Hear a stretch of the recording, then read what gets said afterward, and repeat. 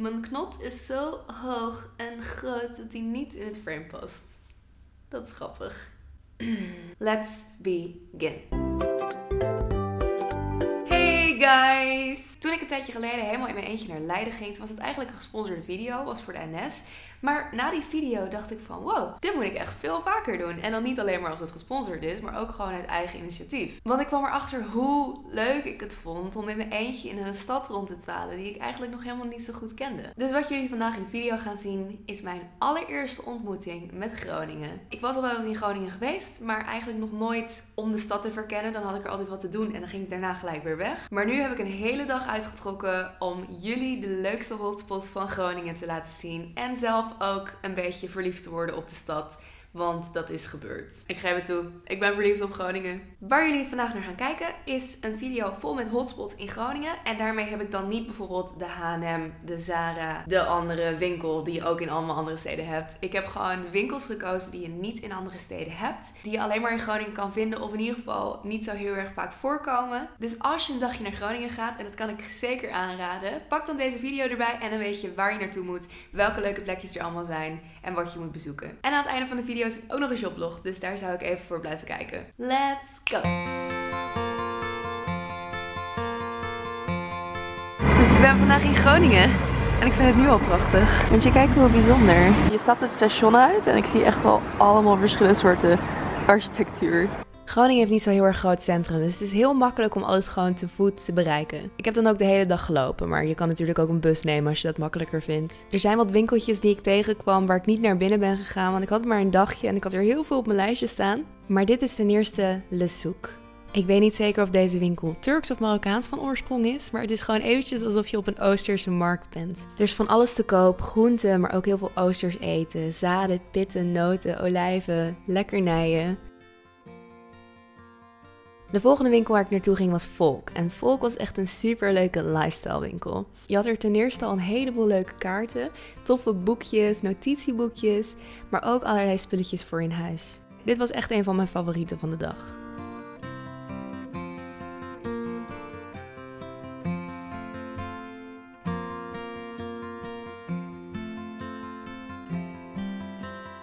De volgende winkel die ik bezocht, sorry als ik het verkeerd uitspreek, was Lee Atelier. Dit is een hele mooie edelstenen winkel waar je ook onder andere heel veel mooie beeldjes kan kopen, wierook, oliedruppeltjes, meditatiekussens. Het is echt een onwijs mooie winkel. Ik ben hier heel lang gebleven. Ik ben sowieso dol op edelstenen, dus dit was voor me weggelegd.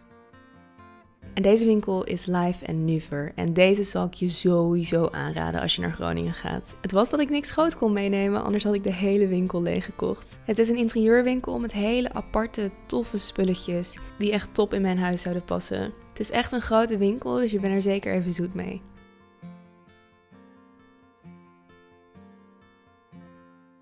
Ik heb geen plaatje geschoten van de voorkant, maar dit is Pure Frozen. En ze verkopen hier frozen yoghurt, milkshakes, maar ook donuts. En ik ging zwaar voor de donuts vandaag. Ik heb er twee gekocht in banaan en lemon meringue en ze waren allebei fantastisch.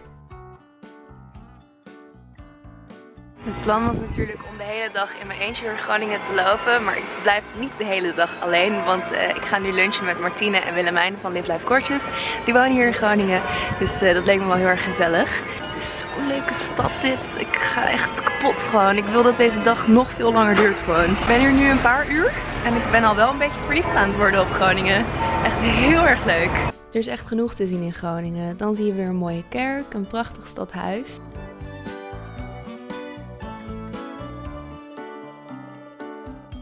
En ook op de muren kan je af en toe wat mooie street art vinden. Nou, ik vertelde het net al, ik ben niet de hele dag alleen, want ik ben nu in het concerthuis met Willemijn en Martine en Jelle. Jij kan hier niet naar Groningen? Nee, Mag ons niet overslaan. We moesten even meeten en lunchen samen, dus dat gaan we nu doen. Met Willemijn en Martine ben ik gaan eten bij het concerthuis. En dat was een heel leuk restaurantje, cafeetje, waar je van alles kan bestellen. Het heeft een hele wisselende kaart en we hebben daar heel lekker gegeten. Dit is Verroest. En Verroest was helaas niet open. Dat vond ik heel erg jammer, want het zag er fantastisch uit. Maar daar moet ik de volgende keer dan maar heen. Mijn tafel vond ik ook ontzettend leuk. Hier kunnen mensen hun eigen hoekje huren om hun tweedehands spulletjes te verkopen. Je hebt er dus echt van alles liggen. En ik heb nu niks gevonden, maar ik kan me zo voorstellen dat je hier hele leuke spulletjes tegen kan komen. Deze winkel heet Handmade Hopes en dit waren allemaal jonge, frisse merken met hele, vooral vrolijke, kleurrijke spulletjes. Van alles voor in huis en ook leuke kaarten.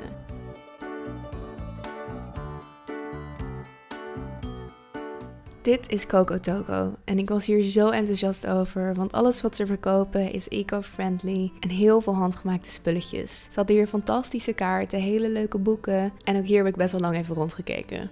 Je kan er zelfs thee drinken mocht je daar zin in hebben.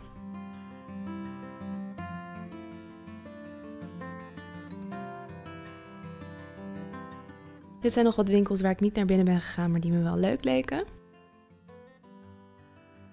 En dan is dit de winkel Truus en Brechtje, waar je echt van alles kan kopen. Het was zo'n veelzijdige winkel dat ik het echt moeilijk vind om te omschrijven. Maar je kan er van alles vinden, voor interieur, maar ook lifestyle en zelfs kinderspulletjes.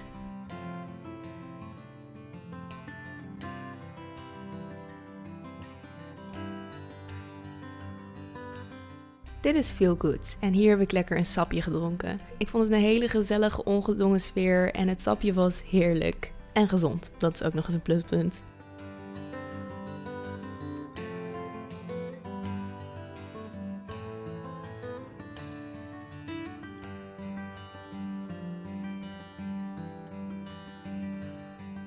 Tot slot ben ik naar Masmas gegaan en dit cafeetje kende ik door Saskia en Alwin, want Alwin's schilderijen hangen daar namelijk. Ik heb daar een heerlijke Oreo frappé gedronken en een red velvet cake, wat eigenlijk veel te veel was bij elkaar. Maar het was heel erg lekker en er hangt een hele fijne huiselijke sfeer.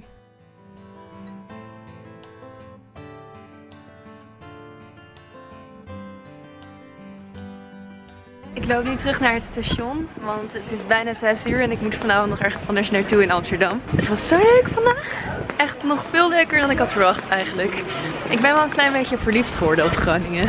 Alles is hier echt een kunstwerkje. Kijk dit station ook gewoon.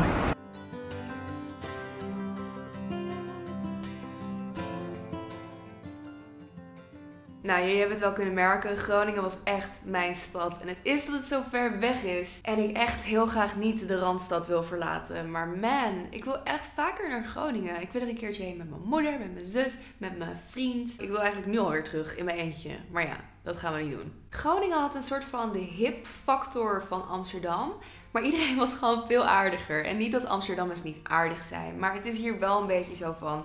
Iedereen leeft gewoon een beetje voor zichzelf. Er zijn heel veel toeristen. Dus eigenlijk is het gewoon allemaal een beetje snel, snel, snel. En we bemoeien ons allemaal niet te veel met elkaar. En in Groningen had ik steeds zulke leuke gesprekken in de winkels. En er waren hele aardige mensen, heel erg hartelijk. Ik vond het echt heel erg opvallen en dat vond ik heel erg leuk. En ik vond ook de architectuur leuk. Allemaal oude gebouwen, dan weer zo'n nieuw roze gebouw of wat voor kleur het dan ook was. Allemaal door elkaar heen. Echt top. Nu ga ik jullie natuurlijk nog eventjes laten zien wat ik allemaal heb gekocht die dag in Groningen. Het zijn vooral heel erg veel kaarten.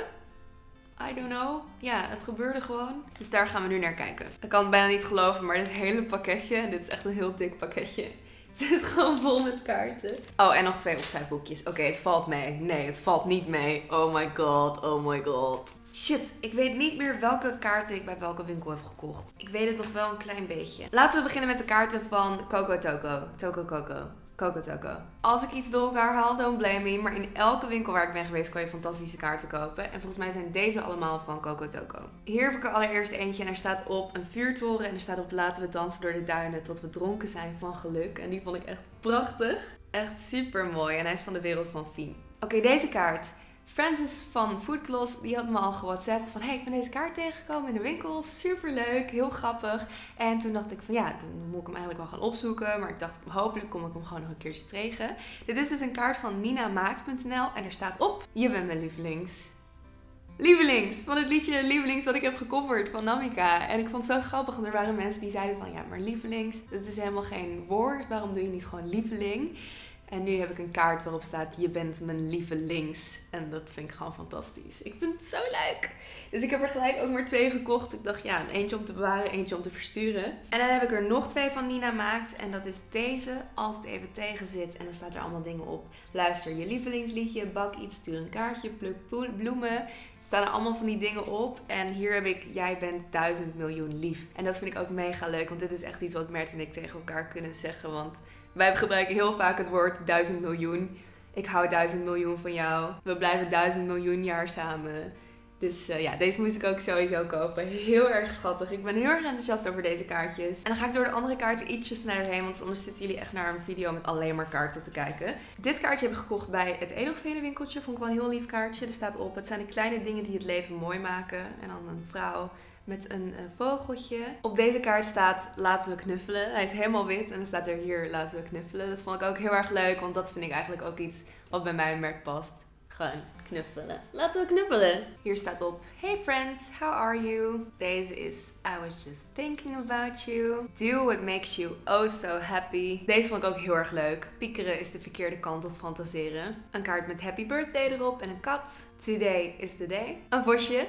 Ik ken iemand die heel erg van vossen houdt, dus er is een kans dat het zijn of haar kant op gaat. Eentje met allemaal veertjes erop. En tot slot, add a little confetti to each day. Ik vind deze kaarten allemaal zo leuk. Ik ben echt zo enthousiast. En deze heb ik natuurlijk ook voor een heel groot deel gekocht voor mijn serie hartjes, waarin ik elke maand kaartjes stuur. Dus ik ga weer een paar mooie uitzoeken voor volgende maand. En uh, ja, dan zitten deze er zeker tussen. Dan heb ik bij uh, de winkel Life en Nuver gekocht deze twee notitieboekjes. Dit zijn twee pocket notebooks. Zoals jullie weten, ik ben dol op notitieboekjes. Eigenlijk gewoon de complete shoplog bestaat uit stationery en interieurdingetjes. Pocket notebooks, dus het zijn hele kleine notebooks. En ik heb gekozen voor de insecten variant.